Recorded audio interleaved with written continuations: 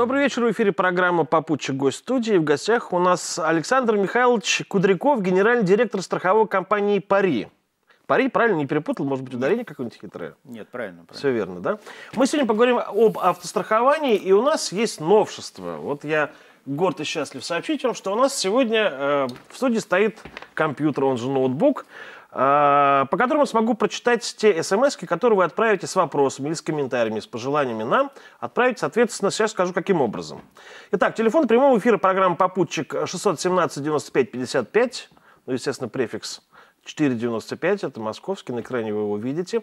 Для того, чтобы отправить свой вопрос в виде смс-сообщения, пришлите, внимание, АП, это может быть э, AP по-английски или АП э, кириллицей, потом пробел, потом пишите свой текст и отправляете на номер. Если вы отправляете из России, то номер 5577, если вы посылаете из Украины 4647, Казахстан, соответственно, 7099.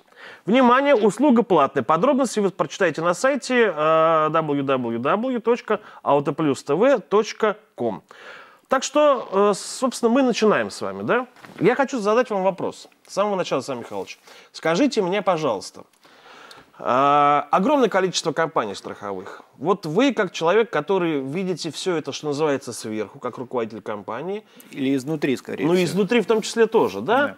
А что вы можете пожелать нам, обычным потребителям, как нам выбрать правильную компанию? Потому что, насколько я понимаю, сейчас люди идут там, скажем, тремя, путь, э, тремя путями. Путьми. идут идут по, по, по трем путям. По трем путям. А, да, один, один человек ищет подешевле, другой человек, соответственно, ищет, э, ищет э, там, где обещают самый суперский сервис, а третий человек слушает, что пос- посоветуют ему там друзья, приятели, близкие и так далее. Кто из них прав? Ну, наверное, это как в том самом случае, когда вам э, билет или ехать.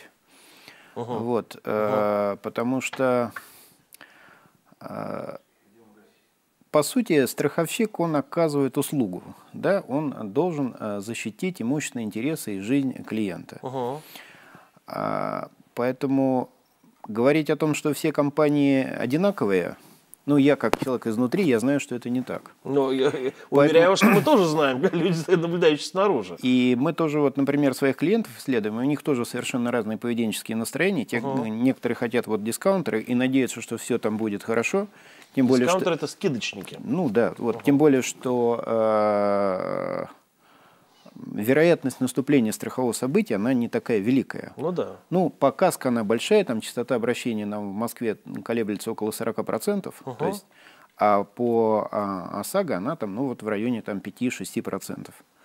Вот, поэтому с вами может и не произойти ничего, и э, поскольку, бог, так, дай да. бог, чтобы так и произошло. Но э, лично я для себя вот выбирал эту услугу, я бы все-таки э, опирался бы на репутацию компании. А уже дальше выбирал бы, э, ну, выбрал бы несколько компаний с хорошей репутацией, потому что, по сути, страховой бизнес – это репутационный бизнес. Потому что, ну, как в маркетинге, да, вы знаете, что хорошие э, новости распространяются в два раза хуже плохих. Плохие там, они быстрее Ну да. доходят. Поэтому те компании, которые на рынке работают давно и хотят дальше работать долго, вот, э, они должны заботиться о своей репутации. Это значит, они должны оказывать хорошую услугу клиенту. А о том, как э, оказана услуга, можно узнать у кого-то. Да, или каким-то образом. Ну, каким, например? А публикация в прессе, это не факт, что это не является пиар-акцией или джинсой, да? Я же не говорю про прямую рекламу. То есть, получается, вот только, только по слухам, только по Ну, рассказам. сарафанное радио, оно Да. такое очень достаточно эффективное бывает. На самом деле и э, к страховщикам клиенты-то приходят, вот кто приходит по сарафанному радио, это самые такие э, хорошие клиенты, по сути. Они представляют, что они здесь получат. Я бы Они тоже, идут уже настроены. да, Да. я бы тоже пошел бы по этому пути. Мгм. Влияет ли дата образования компании на ее стабильность? Ну, то имеется в виду, чем, э, чем больше она на рынке э, в, в- этой сфере бизнеса, да, тем, соответственно, она лучше. Или не факт. Или есть, есть компании, которые тянут, тянут, тянут, тянут, и существуют только за счет того, что не вовремя выплачивают, не доплачивают и так далее. Не, влияет, конечно, потому что, ну, ведь эта услуга, это вещь такая очень тонкая, и э, ты этот инструмент настраиваешь все время. Вот, поэтому чем, вот как, как в музыке, да, звук он лучше, когда вот чем инструмент, он uh-huh. такой, более такой, uh-huh. ну, может быть, старше или там матерее, я не знаю, как uh-huh. лучше сказать. Поэтому влияет. Э, с моей точки зрения. Потому что э, бывает, что компании, которые выходят на рынок и они хотят о себе заявить и быстро набрать портфель, они вот идут по пути набора портфеля, ну, как у страховщиков есть сленг такой, да, они быстро собирают деньги с кого-то. Угу. Предлагая э, услуги самые разные, зачастую платят, допустим, большие комиссионные ну, своим посредникам. Это могут быть, например, агенты, Брокеры. А, брокеры, угу. агенты, это могут быть, э, например, автосалоны. Угу. И зачастую э, вот этот рост, он не поспевает за качеством услуги, ну и э, что происходит с устойчивостью, ну тоже бывает проблема, к сожалению, этих компаний. Угу. Вот, поэтому я думаю, что все-таки возраст компании, он не везде, конечно, бывает исключения самого разного рода, но в целом эта ситуация такова, что чем компания старше, тем э, опыта у нее должно быть больше. Согласен с вами. А может быть, есть смысл смотреть э, на то, э, с кем из корпоративных клиентов работает компания, да? То есть это, в общем, является неким показателем уровня. Хотя, может быть, и не всегда. Сложная тоже тема, потому что на самом деле инструмент э, твой, он оттачивается на рынке. Угу. Бывают компании, э, страховщики их называют кэптивные, которые при, э, работают в основном с крупными клиентами. Какие? Кэптивные. Они угу. при ком-то созданы, угу. да, угу. при крупной структуре. Вот. Э, ну и зачастую они ну, имеют какие-то, ну, скажем так, уже потоки. Если они не работают на рынке, то значит э, качество предоставляемой услуги, оно, ну, можно ожидать, что оно может оказаться ниже, я бы так сказал. Угу. Поэтому мне кажется, компания, которая работает вот на открытом рынке, э, ну, она сталкивается с самыми разными ситуациями. Как вы знаете, ну, скажем так, клиент, который тобой недоволен, uh-huh. он заставляет тебя работать лучше. Uh-huh. Когда ты обеспечен чем-то, ну, скажем, денежным потоком определенным, тебе заботиться о качестве предоставляемой услуги, ну, соответственно, приходится меньше. Угу. Я понял. А, существует такое мнение, что чем а, крупнее компания, тем она хуже работает. Но это мнение, а, опять же, я говорю, вот, сказать, наше обывательское, потребительское. Так ли это на самом деле? А насколько объективна такая точка зрения?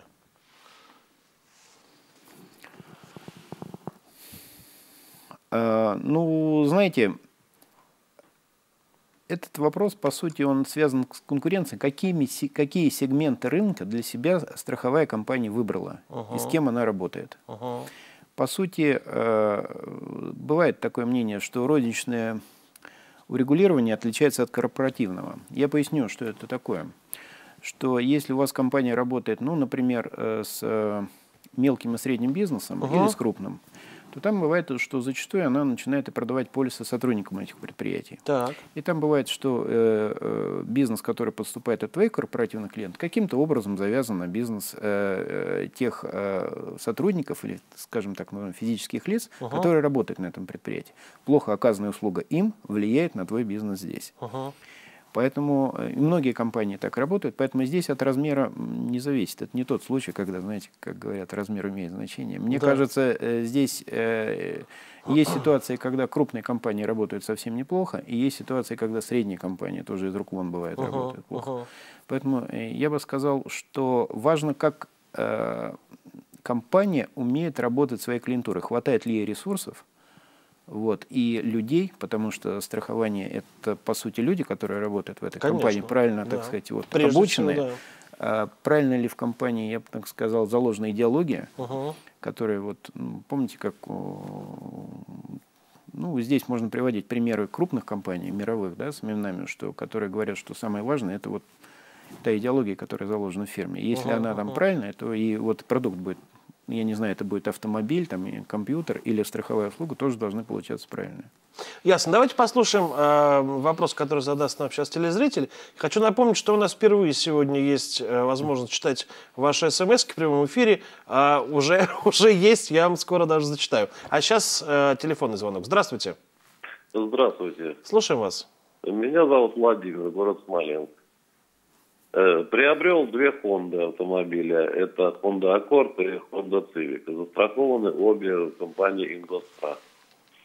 Вопрос такого плана. С Honda Accord э, случается небольшое ДТП. То есть по звонку мобильного телефона я отвлекаюсь, налетаю на бордюр. Э, тем самым компания Ингострах немножечко там подвесочку оплачивает, но телефон был уронен и тем, тем самым разбил я дисплей, который находится в автомобиле.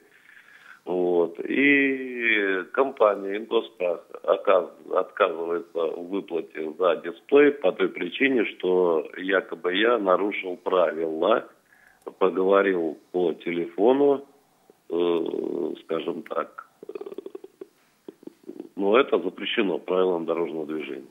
Правомерно ли это или нет? Фонды все новые. За одну заплачено 36 тысяч, э, за другую 26 тысяч. А, ясна вам суть вопроса? Да. Слушаю. Спасибо за вопрос, да. Я не знаю точно правила Ингостраха, да, если ага. я правильно услышал. Но по сути а, страховщик, когда назначает тот или иной тариф, он а, оценивает риск. Ага. И он исходит из того, что клиент, страхователь, он будет э, добросовестно пользоваться имуществом и соблюдать все правила. Ага. Вот. И величина наступления того или иного страхового события – вещь случайная. Но при том, что э, клиент будет заботиться о своем имуществе. Нарушая правила дорожного движения, вы тем самым повышаете риск. Угу.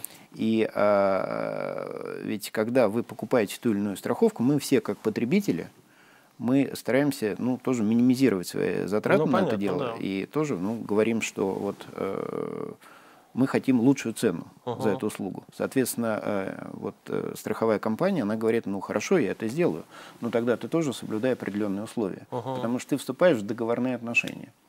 Как именно поступить в той ситуации, я не знаю, это надо читать правила. Uh-huh. По большому счету обращаться вот к юристам, ну и э, либо, э, если это так, то э, если это правильно, то здесь уже ничего не поделаешь. Если ингос, э, ингострах, допустим, поступил неправомерно, ну, тогда надо спорить. Вот. Но а, принцип он такой, что вот мы должны заботиться о имуществе, потому что угу. на дороге происходит много вещей, не зависящих от нас, вот, которые, вероятность которых э, страховщиками посчитана. Исходя угу. из этого, они назначают тариф. Если вы увеличиваете степень риска, то страховщик говорит, ну слушай, ну ты тогда себя вел не совсем корректно по мне. Ну да, ну да. А, Сан Михайлович, вы так вот прям вот бросились в атаку, на самом деле я на вашей стороне. Не-не-не, я не потому, в атаку. что вы сядьте спокойно, а расслабьтесь, я, откиньтесь. А я, я сам тоже как клиент, я же тоже, у меня тоже бывают такие ага. ситуации, мы все же люди, поэтому я когда говорю, что в Москве частота наступления событий э, там э, порядка 40%, угу. то есть мы э, как автовладельцы, мы все попадаем в те или иные ДТП, мелкие, крупные. Согласен, да, Поэтому здесь и практика, безусловно, у всех есть. Согласен. Согласен с вами. А давайте послушаем еще один телефонный звонок. Добрый вечер. Добрый вечер. Да, слушаем вас. Ну, вот у меня вот вопрос такой есть по прямому страхованию. Ага. Вот есть такая вещь, как прямое страхование. Вот мне просто интересно, вот как бы говорят, что полстоимости это обычной страховки.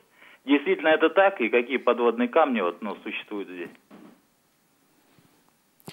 Спасибо. Ну, Здесь э, речь, как я понимаю, идет, скорее всего, о компании «Прямое страхование», угу. та, которая продает э, свои полисы без посредников. Угу. Э, есть разные каналы распространения полисов. Там, через, э, я не знаю, э, агентов, прямые продажи э, через офисы э, страховщика, угу. ну и через интернет, допустим. Вот. Э, все компании выбирают свои способы э, э, распространения полисов. В структуре тарифной ставки то, что мы платим страховщику, вот, всегда существует заложены комиссионные, которые он готов заплатить агенту или там своему представителю или брокеру за то, что он продаст этот полис. Прямое страхование, эта компания пошла по пути, как я понимаю, минимизировать эти расходы, uh то есть работать без посредников. То есть она говорит, что я буду э, работать э, без посредников, соответственно, я на этом сэкономлю. Потом я слышал, что эта компания, она говорит, что я буду работать с определенным сектором клиентов. потому что статистика по разным сегментам клиентов, она разная. Uh-huh. Ну, скажем, молодые люди, которые садятся за руль автомобиля, как правило, попадают в разные ДТП. И любой страховщик, если вы к нему придете э, страховать э, автомобиль и э, впишите туда, допустим, я не знаю, своего ребенка, которому угу. там 19 лет, который так. недавно получил права, он назначит обязательно повышающий коэффициент. Вот прямое страхование, насколько я знаю, собиралось, я не знаю, как сейчас, я не могу сказать точно, э, что именно они делают, но работают с определенным сегментом. Например, там, э, с женщинами от 30 до 40 лет. Угу. Они ездят очень аккуратно они редко попадают в ДТП, то есть они хорошие клиенты, им можно назначать меньшие тарифы. Зачастую эти тарифы могут быть, э, если говорить о сравнимых машинах, а не брать машины, которые подвержены особой степени риска, uh-huh. то они могут быть действительно э, меньше и в два раза. Uh-huh. Теоретически. Но вообще говоря, это надо считать. А компании такого рода, они распространены на Западе. Там тоже есть определенные каналы продаж, там, э, вот, через, например, интернет. Uh когда э, там, такого рода клиент он может сэкономить. Ясно. Еще один звонок. Добрый вечер. Алло, здравствуйте. Да, говорите.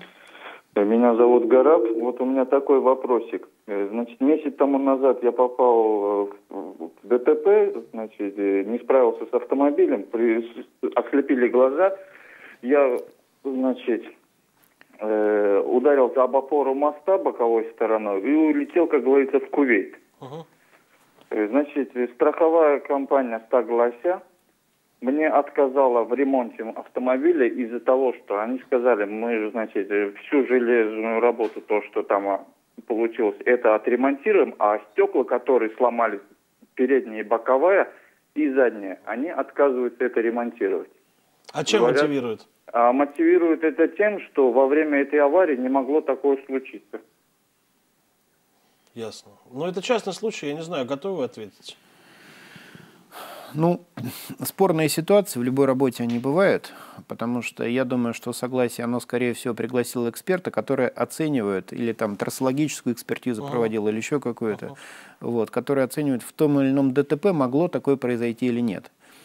А, поэтому здесь действительно ситуация спорная, поэтому я даже не знаю, что ответить. Судиться, здесь... судиться. Ну, наверное, да. Здесь э, можно посоветовать только со своей стороны, э, как потребитель, тоже нанять экспертную организацию, которая да. бы оценила ситуацию. Если вы правы, дала бы вам компетентное заключение. И тогда вот э, уже так что, да. нужно отстаивать свои права. Схема, схема действия вам ясна. А что касается наших э, смс-вопросов. Э, это же из Архангельской области задали вопрос. Расскажите о черри-амулете, что за машина? Ребята, ну совершенно не в тему. У нас совершенно о другом сегодня Я речь идет. Да. А, а вот Смоленской области вопрос. А правда ли, что страховки на старые авто увеличатся вдвое с 1 января? Вот я, например, первый раз об этом Я слышу. тоже первый раз об этом слышу. А, мы не можем ответить на ваш вопрос, потому что такой информацией мы не обладаем. Мы э, специально покопаемся в интернете, позвоним, поспрашиваем у людей, сведущих, более сведущих, чем нет. мы. Хотя таких просто, мне кажется, нет. А какие страховки? ну, не указано. Вот, да, вот, такая, э... да. Так, опять про черри мулет. Опять, опять же из Архангельской области. Две смс отправил товарищ. А вот еще из Санкт-Петербурга. Э, продал автомобиль, можно ли вернуть деньги за 5 месяцев неиспользованного полиса? Да. То есть это предусмотрено, поскольку э, страховщик только э, может удержать, в зависимости от того, это каска или ОСАГО, угу. там, расходы на ведение дела. То есть вот за неиспользованный период он, э, соответственно, посчитает, э, какая часть э, денег не была использована, оттуда вычтить расходы на ведение дела, которые составляют ну, не более там, 30% угу. от остатка. Остальное, я думаю, что э, наш уважаемый слушатель может получить. Отлично, спасибо. А, обращаюсь к нашим телезрителям. Сегодня у нас у вас, вернее, есть возможность не только сегодняшнего дня, скажем так, есть возможность не только задавать вопросы при помощи телефона, вы можете нам еще отправлять смс-сообщения. Телефон прямого эфира вам известен, а для того, чтобы отправить смс-сообщение, э, нужно отправить АП, пробел, дальше свой текст на номер. Если вы посылаете смс из России, то номер 5577, Если вы э, на Украине живете, то 46-47, из Казахстана 70-99. Должен вас предупредить, что эта услуга платная. Подробности э, все узнаете на сайте www.autoplus.tv.com. А сейчас послушаем еще один звонок. Здравствуйте, добрый вечер. Алло, здравствуйте. Если можно громче, добрый вечер, слушаем вас. А, здравствуйте. Угу. Меня зовут Сергей. У меня как бы, ну, два вопроса, один вытекает из другого. Давайте. Первый, это почему сейчас не, нельзя было бы рассматривать все вот э, случаи по страховке ОСАГО, э, КАСКО и прочее, прочее, э, так, как делается во всем мире, в Европе, в Америке, а не придумывать что-то здесь, э, ну, которое не всегда бывает, э, как, как говорится, велосипед уже придумали, нечего изобретать заново. А что вы имеете в виду? Ну, как бы э, такие вот э, различные виды страхования, они вряд ли существуют, сказать, в Европе есть каска и все, так сказать, угу. а вот эта автогражданка, которая совершенно у нас надумана, ну, немножко непонятно вообще. Ну ясно, я, я понял вас, спасибо. И второе да. добавление, это как бы вытекает, это э, тот момент, когда э, после наступления страхового случая э, оценка автомобиля, так сказать, ну, ущерба авто, автомобилю осуществляется таким образом, э, какого года автомобиль, износ и прочее, прочее. То есть э, в итоге получается, что э, те деньги, которые выплачивает страховая компания, не хватает на то, чтобы, так сказать, починить автомобиль. Спасибо. О, спасибо вам. А, насчет вопроса второго, не знаю. Ну, Я может быть, последовательно мы начнем? Да, конечно, да. Ну, на самом деле это не так. Во всей Европе и э, в Соединенных Штатах обязательное страхование автогражданской ответственности существует. Угу. Мы вообще идем, а, я бы так сказал, по французскому варианту. Потому что вот, например, э, вариант в Великобритании, который существует, он немного отличается. А если говорить о, о практике, ну, например, немецкие страховщики говорят, что у них ну, практически все застрахованы, процент застрахованных там 97-98% от uh-huh. количества автомобилей. Вот, это по ОСАГО. А по КАСКО примерно треть э, от застрахованных по ОСАГО имеют вот полисы КАСКО. Uh-huh а остальные не страхуются. Это дело добровольное. А вот застраховать свою ответственность – это дело обязательное. Причем, э, в отличие от нас, э, ну, там страховка и стоит дороже. Э, вот ОСАГО, такой аналог назовем, угу. да? Ну, и там очень диверсифицированные тарифы в зависимости даже от земли. Ну, это в Германии, например, так сказать, от марки автомобиля, от того, кто там сидит, потому что Э, государство там какое-то время назад только это регулировало, и сейчас уже э, оно отошло от регулирования угу. этих тарифов. Вот. Э, но там очень большие лимиты установлены по страхованию ответственности, по страхованию жизни. И там действительно, ну, если кто выезжал, например, э, на машинах э, в Европу, то О. покупает, например, зеленую карту. И там вы покупаете на большую сумму, потому что самое ценное это все-таки человеческая жизнь. Мы к этому только идем. Потому ну, что да. железяка, она вот, ну, она и есть железяка. Ну, это очевидно. А второй, второй вопрос, второй вопрос по поводу того, что машин, машину, э, чем старше она, тем, соответственно, меньше денег получает человек когда получать страховку? Ну, здесь э, что можно сказать? Э, это введено законом, поэтому страховщик, он следует э, законодательству. Ну и все равно это исходит из того, что какие, какой тариф, какие деньги страховщики получают. Угу. По большому счету, когда вводилась ОСАГО, никто точно не мог сказать, этот вид он будет прибыльный или убыточный. Угу. И э, ситуация, она вот, э, например, в России, у нас есть региональный коэффициент по ОСАГО, получилась такая, что в ряде регионов страховщикам очень тяжело работается, и они фактически выплачивают все то, что э, получают. Угу. То есть даже я знаю, вот э, в ряде регионов э, Урала там не хватает денег на ведение дела. По большому счету мы, например, тоже идя на этот путь, мы тоже долго думали, нам этим заниматься или нет, но мы решили, что наши клиенты просто должны у нас получать все страховые услуги. Угу. Вот. Э, ну, пока это все, э, знаете, э, хорошо, но вот все те изменения, если мы плавно будем к чему-то переходить, вот дальнейшее развитие ОСАГО, которое сейчас законодатель принял, они ведут к тому, что выплат будет, будут страховщики делать больше. Это как раз... И, и своевременнее. И своевременнее да. тоже, да. Это как раз утрата товарной стоимости, которая тоже повысит убыточность, угу. а, соответственно, страховщик должен будет платить больше. Это так называемое, его еще называют иногда европейский протокол, это прямое урегулирование. На месте. Вот, на месте. А, вот. Это но ну, мы к этому страхование вернемся. жизни и здоровья, там, там, там лимиты другие. К новым поправкам, к изменению да. в законодательстве мы вернемся. Сейчас послушаем еще один звонок. Здравствуйте, вечер добрый. Слушаем вас. Да, здравствуйте. Здравствуйте. Здравствуйте. Григорий, Москва. Вот э, застрахован русской страховой компании по uh-huh. автокаско. Значит, э, по страховой полис оплата разбита на три периода. ДТП произошло, ну, проплата прошла, то есть следующий платеж только в феврале, а ДТП произошло в декабре. Страховая компания мне отказывает в выплате до того, пока я не оплачу полностью, то есть страховой полис по автокаско. Вот правомерно ли их действия в этой ситуации? Ясно, спасибо. Вам приходится отдуваться за, за коллег своих по цеху. Ну, судьба такая. Ну, во-первых, надо посмотреть, когда мы э, все подписываем какие-то договора, надо посмотреть, на каких условиях был заключен этот договор. Но, в принципе, э, логика здесь примерно такова, что если вам дают рассрочку по оплате, то фактически, э, когда с вас берут тариф, рассчитывают, сколько денег с кого-то взять. Ну, в страховании как? Вот шутка такая, больной платит, здоровый платит за больного, да? Сколько денег с кого-то взять, чтобы кому-то выплатить. Если ты даешь рассрочку, значит, ты недополучил какие-то деньги, да. ты фактически на что-то прокредитовал своего клиента.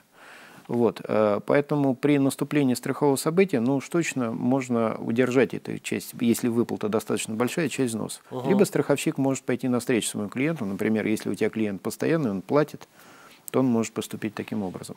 То есть вот э, право такое, вот, например, у нас в наших правилах мы за собой резервируем такое право, что мы можем эти деньги удержать, угу. если мы даем рассрочку. Но э, это право, это не обязательно мы этим пользуемся. Как в данном случае поступят коллеги, ну, это, соответственно, с теми условиями, которые они, э, ну, скажем, клиенты, страховщик подписали. В договоре должно быть прописано. В договоре должно быть прописано. То есть, да. если не прописано, они не правы, нужно судиться. Вот я к чему. Ну, спорить-то точно надо. Вообще говоря, любой суд для страховщика это, ну, тоже та же самая репутация. Поэтому я думаю, что если там это не прописано, и, например, сотрудник ошибается, uh-huh, да, uh-huh. то можно э, пояснить его руководителю, что он не прав. -то. Ну, в таком случае до суда дело не дойдет, все решится да. на месте, да, потому что никто не хочет светиться. А еще один звонок, здравствуйте. Алло, здравствуйте. Слушаем вас. Алексей Уфа. Очень приятно, Алексей. Вопрос, обязаны ли страховые компании, если полис ОСАГО при признании в ГАИ при разборе обоюдной вины обязаны ли выплачивать 50%, потому что был случай, значит, Уралсиб страхование, они, то есть, сказали, без проблем 50% оплачиваемые оплатили, а в Росгострахе что-то упрямится. Спасибо.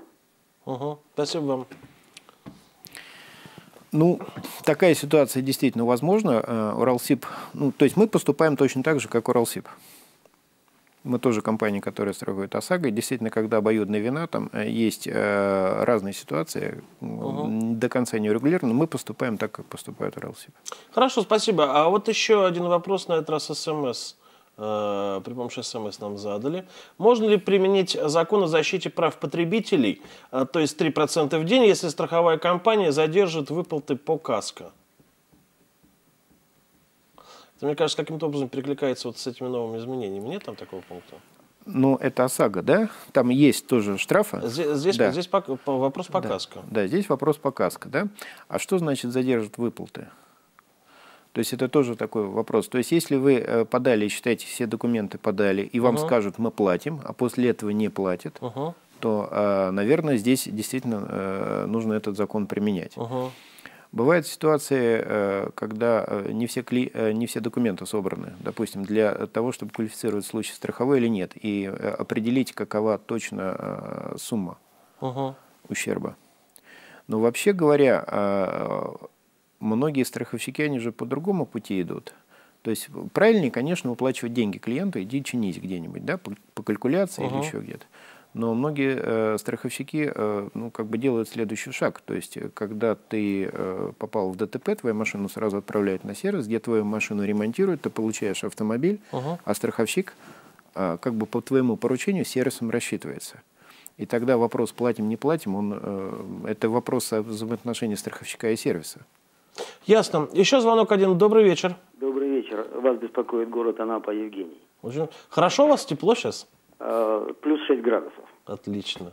Так, давайте ваш вопрос. Теплее, вопрос да. такой. Э, машина была застрахована в компании «Рисо Гарантия» э, на сумму, превышающую стоимость автомобиля в магазине.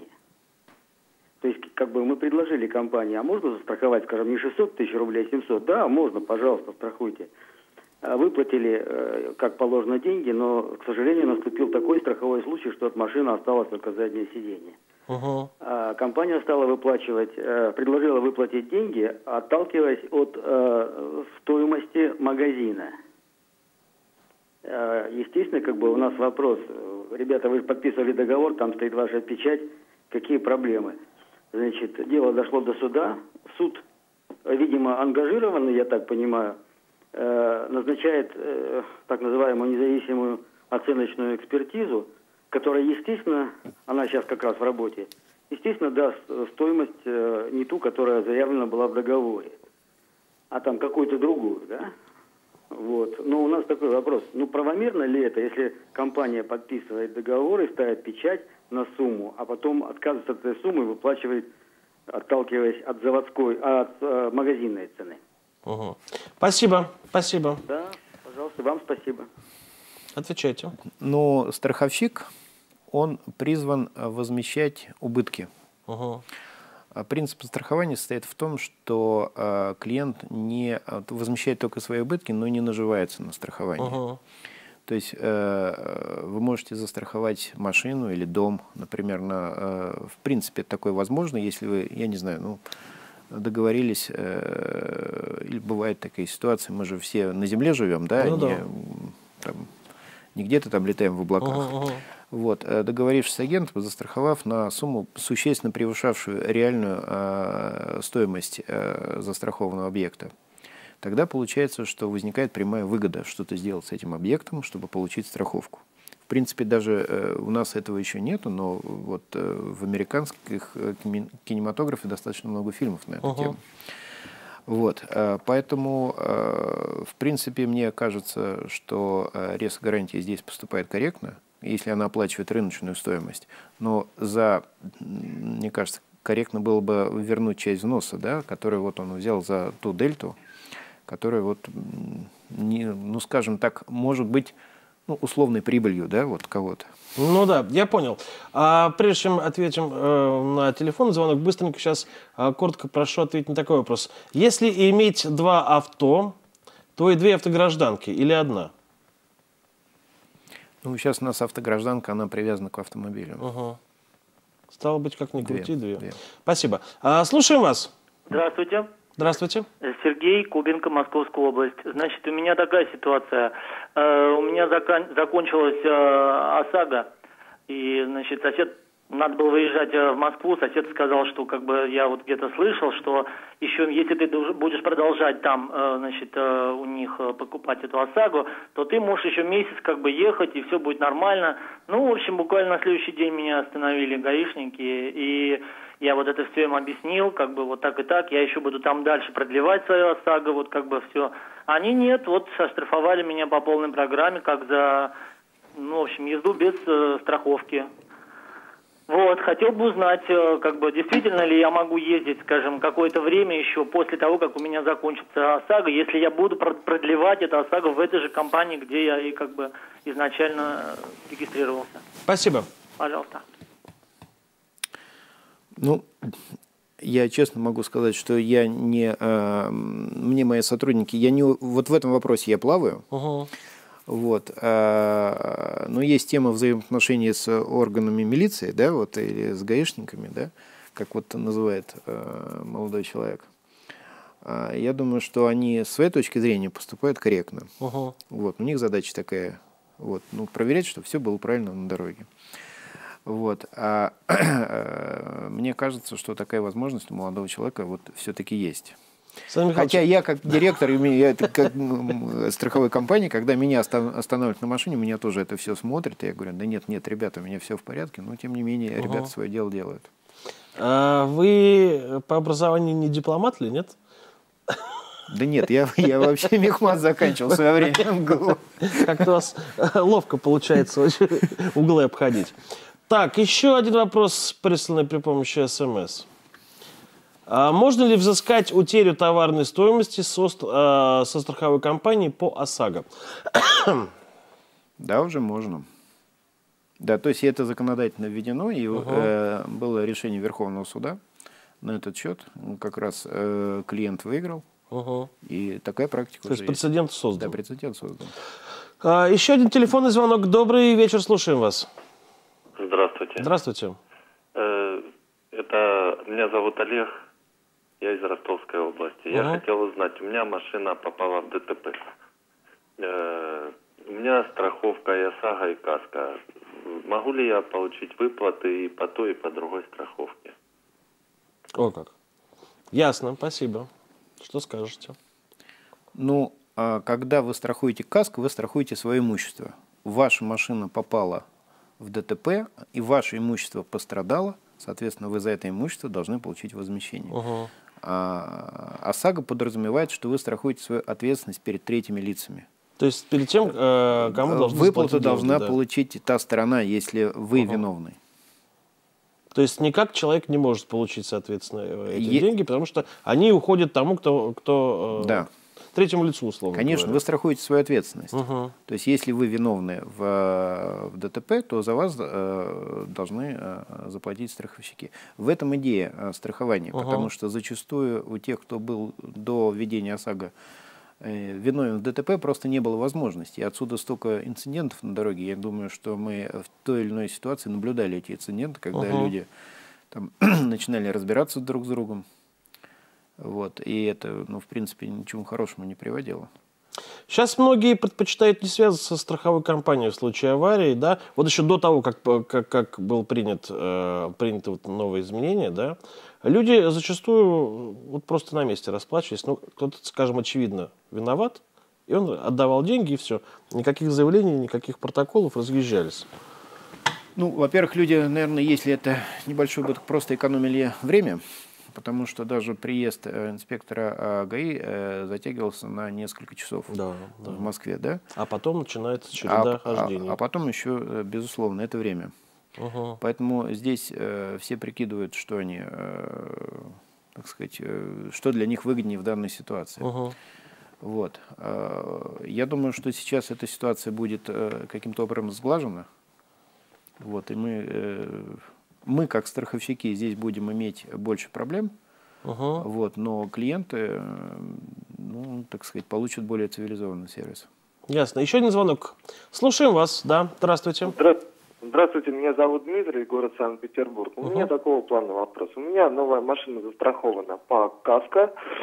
А, наступил страховой случай. Мне выдали направление компании Росгосстраха на ремонт. На протяжении четырех месяцев не могли согласовать это дело. А, переписал я заявление на выплату денег, приложил копию со СТО оценки. Сумма, а, которую мне выплатили спустя вот, 5 месяцев прошло с наступления, превысила той сумму, которая требуется на ремонт три раза меньше выплатил. Могу ли я при подаче в суд а, получить какие-то а, материально, моральное вознаграждение? Буду подавать на полную сумму, чтобы не выплатили, сколько стоит ремонт, и плюс моральное вознаграждение, потому что я полгода практически бьюсь с страховой компанией. Спасибо, спасибо.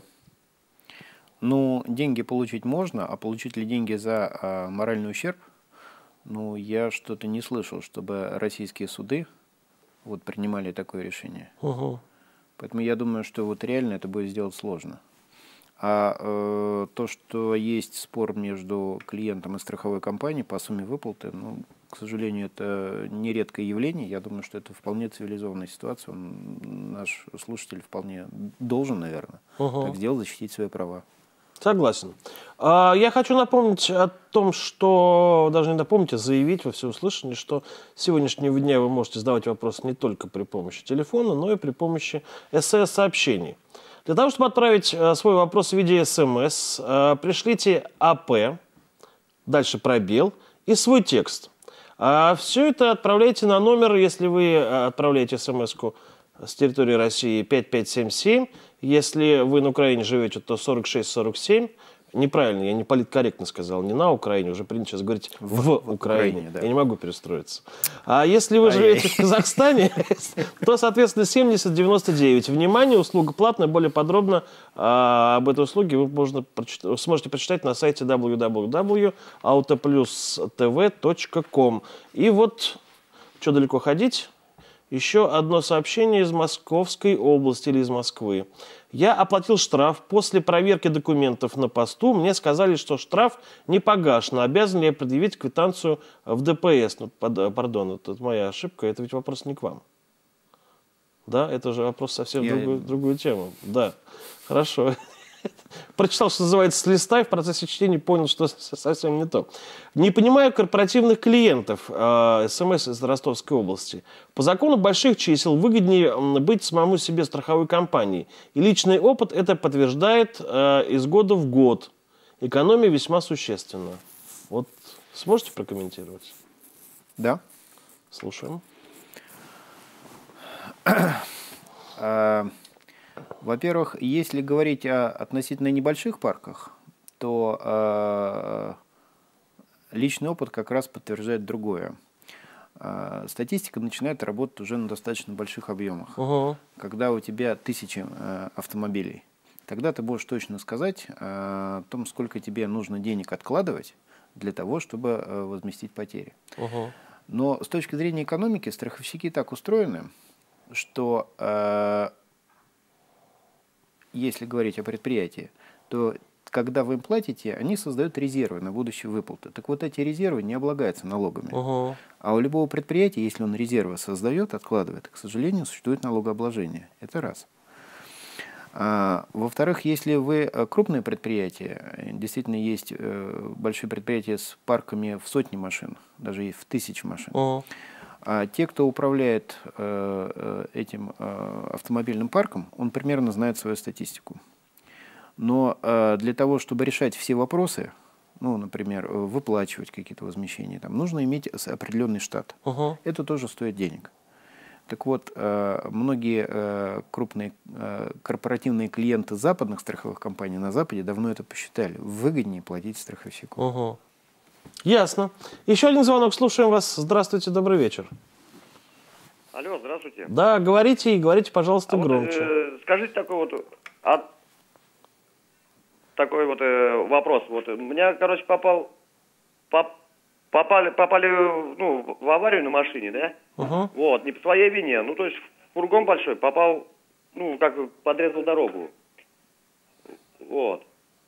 Ну и мы вызвали страховщика, ну там это вот как человека, который оценивает ущерб этой машины. Угу, То есть он нам насчитал там ее 61 тысячу. Вот. А нам выплатили 23 тысячи. То есть эта страховая компания нам выплатила всего лишь 23 тысячи. То есть, а машина вообще не подлежала ремонту. То есть мы ее лишились полностью, этой машины.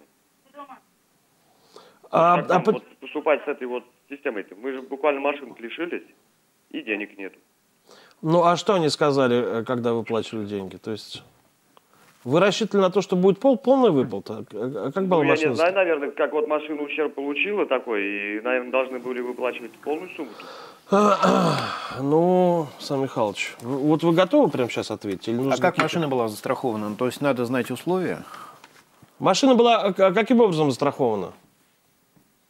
Все, сорвался сорвался. Но я думаю, что вам сложно будет ответить на этот вопрос. Ну, для этого надо э, документы смотреть. Да, или хотя бы, хотя бы просто иметь да. представление, да, каким образом. Да. Ну, а, мне кажется, да, вот, может быть, сейчас э, прозвучит э, для вас, э, может быть, это будет не очень приятно, э, но если, вот я глубоко убежден, что наступила пора, когда, э, в том случае, если вы убеждены, что с вами поступает неправильно, пришла пора отстаивать свои права. а, при помощи суда, или, может быть, не, до, не, доводят до, до суда, а просто а, говорят человеку или организации, я собираюсь судиться. Если те понимают, что они не правы, они тут же пытаются решить вопрос а, по-мирному, да, если считают, что они правы, тогда уже решает суд. Вот раньше мы боялись этого, сейчас... Э... Нет, я вас уверяю, что не боятся клиенты. Но сейчас уже нет, и слава нет, богу. Нет, я вас уверяю, то есть мы ну, знаем, но только, ну вот практика нашей компании, мы... Э... Ну, по ОСАГО у нас, э, честно я могу сказать, что бывают суды. Угу. Потому что мы, э, поскольку вот выплата э, зависит от э, возраста автомобиля, то действительно клиенту зачастую не хватает денег, и он говорит, что мне не хватает, и здесь э, споры происходят. Угу. Вот. А что касается э, тех случаев, когда машина застрахована по каско, ну, как правило, нет. Там бывают э, проблемы, когда возникает, ну, скажем, клиенту некачественно покрасили машину, допустим, после ДТП. Но это уже, это наша задача уже извиниться угу. и разобраться с сервисом, потому что угу. ну, мы все понимаем, что геморрой. Бывают проблемы, когда клиенты долго ремонтируют машину, особенно с новыми машинами. И вы знаете, что вот этот бурный рост продаж привел к тому, что а, запчасти отстают. И зачастую да, на некоторые да. марки запчасти идут там, я не знаю, там по несколько месяцев. Угу. И клиент ждет, он без машины. Вот э, ты тоже за него переживаешь, потому что это хотя э, не ты оказываешь эту услугу, а посредованно, угу. но все равно ты, так он же тебе доверяет, да? Да. Он у тебя застраховался. Угу. Вот такие случаи бывают, конечно, они радости особо не приносит. Я понял. А еще один звонок. Здравствуйте. Алло, здравствуйте. Слушаем вас. А, мне вопрос. Э, можно ли выбрать СТО, где будет ремонтироваться машина? Например, Мерседес, Мерседес центр, БМВ, БМВ центр. Вы имеете в виду э, до момента подписания или в момент подписания, да? Э, ну, вообще, если, Процесс. например, пострадал. Ну да, человек. то есть а может ли человек, который страхует э, свой автомобиль, сказать, я хочу, чтобы э, там-то, там-то. Правильно я вас понял, да? Да, да. Спасибо. Может, но это э, должно регулироваться тарифом. Угу.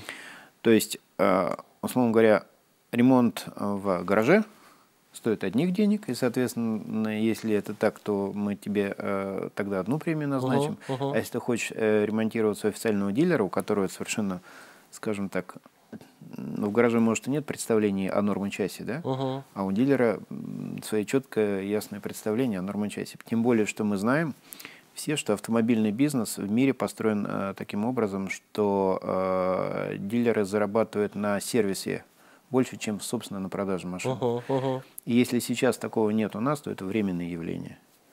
Поэтому, э, естественно, это бизнес людей, и э, там цены будут выше. Вот чем. Но, соответственно, для страховщика это тоже бизнес, он тоже не хочет э, потерять деньги. Чтобы, э, поэтому есть разные условия. Вы можете э, ремонтироваться там по вашему выбору, либо на станциях, которые рекомендованы страховщиком, либо, uh-huh. вот, э, скажем, у официальных дилеров. Ну, соответственно, с вас тогда и, э, наверное, в разных компаниях по-разному возьмут э, разную сумму страхования. Ясно. Еще один звонок. Слушаем. Здравствуйте. Алло. Здравствуйте, да. А, добрый меня зовут Владимир, из Владимира. Вот. Э, дело в том, что в октябре месяце а, мы попали в ДТП. А, ну, малолетний ребенок угоняет машину, и нас пострадало три автомобиля. И как нам объяснили, что это не страховой случай. И деньги только можете получить через суд, то есть ну, подавая их на родителей или на опекунов. Вот такой вопрос. Спасибо. Вот, вот да, как ответить? Ну, насколько я понимаю, машина по каско не была застрахована, судя по всему. И речь идет о том, что э, ребенок, угнавший машину, так сказать, э, совершил э, дорожное, ну, произошло дорожно-транспортное происшествие, где он виновный. Угу. А я так думаю, что он в полис, наверное, не был вписан, естественно. Ну да. Вот. Поэтому здесь, э, э скорее всего, в суд идти. Ясно. Ясно. Слушайте, ну время становится все меньше и меньше. Очень хочется поговорить о тех вот как раз нововведениях э, в закон, которые ожидают нас уже вот буквально в самом ближайшем будущем. Вы можете рассказать, что нас ждет? Ну, кратко, да, могу.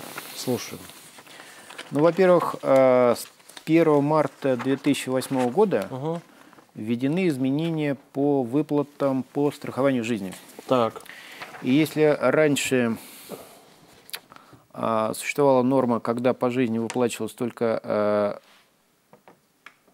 240 тысяч э, рублей на всех, причем на, на одного она не могла превышать, так сказать, 160, а остальным что оставалось, угу. то теперь введена норма, что каждый э, э пострадавший э, может получить максимальную сумму выплаты 160 тысяч рублей. Угу. То есть вот то, что я говорил, мы как раз идем по тому пути, когда вот у нас... Э, Жизнь человеческая ценится все, все больше. больше да, и больше, да. да. да. И я думаю, что чем дальше, тем это будет угу. все больше и больше. Вот. Э, ну, наверное, про это тоже надо сказать, что законодатель предусмотрел, что если есть погибшие, угу. то там 25 тысяч э, предусмотрено на организацию, э, на расходы по организации похорон и 135 тысяч э, семье погибшего. Угу. Это тоже вот такое изменение. Э, дальше. Э, защита граждан будет усилена, что граждане теперь смогут обращаться в суд. Угу. То есть, э, если страховщик задерживает выплату по ОСАГО, то э, за каждый день э, просрочки страховщик будет платить э, 1,75 за э, вот, от суммы выплаты. Uh-huh, uh-huh. Правда, э, э, для страховщика введена норма, теперь увеличено э, э время рассмотрения документов до 30 дней. Uh-huh. То есть, с одной стороны, э, страховщику так сказать, применит, будут применены санкции, с другой стороны, ему дается чуть больше времени. Угу. Вот. Теперь... Э... На месте сможем разбираться мы. В том случае, если никто не пострадал, да. не погиб. Да, очень э, важная норма – это так называемый европейский протокол. Когда угу. если э, стороны согласны, э, кто виновная сторона, угу. и по их оценке ущерб не превышает 25 тысяч, то с 1 Э, июля э, можно будет заполнять специальные формы и, так сказать, э, уже, так сказать, без инспектора ГАИ, так, знаете, не, не надо его будет теперь ждать. Так, знаете, То есть вот, написали бумажки, отдали друг другу разъехались? И разъехались. Да. Отлично. Вот. А, правда, страховщик э, имеет право прислать аварийного комиссара. Имеет право. Не обязательно, что он будет, но он имеет право. Ну, в таком случае нужно его уведомлять. Уведомлять, да. да. Но страховщика в любом случае надо uh-huh, уведомлять uh-huh. о том, что произошло ДТП. Uh-huh. А, ну и а, тоже очень а, такие важные нормы – это то, что с 1 июля клиенту, если ущерб не превышает тоже 25 тысяч рублей, то есть угу. он может получить выплату в той компании, в которой он застрахован. О, очень хорошо. Очень важный момент. Да. Он связан с тем, что а, зачастую мы приходили в компании, которым мы не были клиентами. Да, и, соответственно, отношение к нам, к нам было как, такое, да. как к жертвам, да? Да. Как же приятно слышать это именно от вас. У нас еще один звонок, если не сорвался. Слушаем вас. Здравствуйте. Алло. Да, слушаю вас, сударыня. Э, здравствуйте. У меня, значит, такой вопрос. У меня машина застрахована по каско. Так. Значит, э, пока я уходила на работу, в этот момент мою машину стукнули. Ну вот. Я вышла, вызвала инспектора ГАИ, значит, э, все зафиксировали, протокол написали. Я приехала в ГАИ. Мне сказали, что, значит, ну мы хотим вас огорчить, что если мы напишем, что вы, значит, вас стукнули, то вы не получите никакой страховой премии. Но для того, чтобы получить, надо в таком случае, это уже коммерческое предложение. От вас должно поступить коммерческое предложение. Вот, значит, я хотела бы задать такой вопрос. Ты, секундочку, вам предлагают дать взятку? Да. Да, угу. вот э, такой, такой вопрос. Значит, если ОСАГО, зависит ли от того, если э, вот меня стукнули, второго участника ДТП нет, потому что они мне сказали, мы сейчас пошлем запрос, два месяца, потом вам откажут, потом напишем, что никого не нашли, там, тыры-тыры, вот такое. В общем, разговор состоялся такой. Нужен ли здесь второй участник ДТП, если машина по, по каске, скажем так? Угу. Нет. То есть вот все-таки э, должен быть составлен протокол, что я сама на что-то наехала, либо все-таки как на самом деле, э, вот что меня стукнули, и вот, вот вы зафиксировали, что действительно мою машину стукнули. Мама и папа учили меня в детстве, что нужно быть честным мальчиком. Я понимаю, что нужно быть честным, но вот, вот такая ситуация. каска зависит от того, если второй, э, это уже как бы прошло все, я сама машину свою как бы ремонтировала все. Я но... могу ответить, понятно. Все, спасибо но... вам большое. Спасибо. Вы знаете, э, зачастую бывают ситуации, когда э, грузовик или вот трактор, когда он проезжает мимо кого-то и задевает, он даже не замечает, что он кого-то задел. Да. Вот, и у него, э, лично у него ущерба никакого, да? Вот, но э, у легкового машины, так сказать, там проблемы могут возникнуть очень большие. Поэтому э, большинство компаний, они, э, вообще говоря, мелкие э, убытки или мелкий ущерб, они возмещают без права ГАИ. Угу. То есть э, я встречал много разных модификаций на эту тему. Но это может быть, если ущерб не превышает 5% от э, страховой суммы. И такой uh ущерб ты можешь применить, э, предъявить в компанию не более двух раз. Или у тебя э, нарушение лакокрасочного покрытия в результате, вот, э, ну, скажем так, или противоправных действий третьих лиц, uh или э, неустановленного транспортного средства, если это, ну, допустим, там не более чем на двух элементах машины. Ну, скажем, на двух крыльях, допустим, да, или на двух дверях. Вот. Поэтому э, страховщик здесь тоже, он старается идти навстречу. Я думаю, мы все с этой ситуацией сталкивались. Поэтому совершенно не обязательно, чтобы был второй участник ДТП. Ну а насчет коммерческого предложения, нет, это ну, тема такая, что если у вас зафиксировано, вы подали заявление, и у вас э, налицо э, то, что ваша машина, ну, скажем, повреждена другим автомобилем, или, я не знаю, кем-то. Ну, в общем, раз, разводят вас. Да, я думаю, что здесь эта тема такая. Да. Вернемся, вернемся к СМС. Одно, а, а, СМС написано, одна СМС написано латинской раскладки, буду запинаться. Здравствуйте. А, почему, э, страхуясь по ОСАГО, сумма страховки исчисляется от мощности моего авто, ведь ОСАГО возмещается третьим лицам. Так какая разница, я в ДДП попаду э, на малолитражке или на большой машине? ОСАГО оплачивает убыток потерпевшей стороне. Сергей, Москва, спасибо. Пожалуйста, пишите, пожалуйста, по-русски, тем более, если из Москвы. Ну, презюмируется то, что э, машина более мощная угу. может нанести больший ущерб. Все, ясно.